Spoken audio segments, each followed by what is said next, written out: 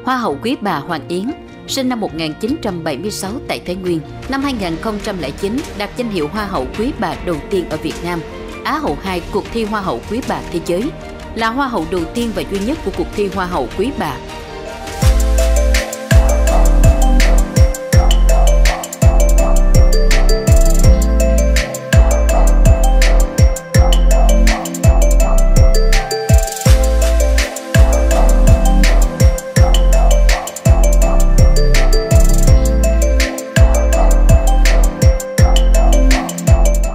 Phải công nhận là là khi mà chị làm cái liệu trình này xong thì chị thấy rất là ưng ý không xâm lấn.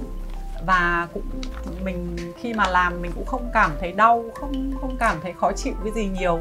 Mà mình cũng không phải kiêng cữ cái gì hết. Và sau khoảng 3 đến 4 tháng nhỉ 3 đến 4 tháng thì sẽ nó sẽ cái cái cái lớp cơ nó sẽ được gần như là là tái tạo toàn bộ. Thì khi đấy thì cái gương mặt của mình nó còn được lít lên nữa. Hy vọng là ừ là làm xong cái liệu trình này thì khoảng một năm nữa thì lại đi làm lại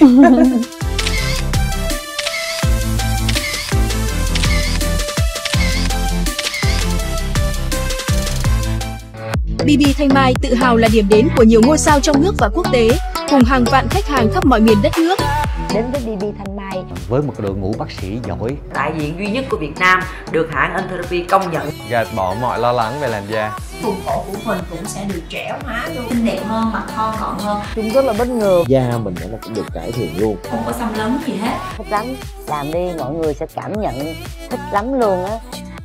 Ưu đãi sốc giảm 70% để lại số điện thoại đăng ký hotline 1800 6617 BB Beauty BB Thanh Mai tự hào 23 năm là địa chỉ tin cậy của sao Việt và các doanh nhân, chính khách.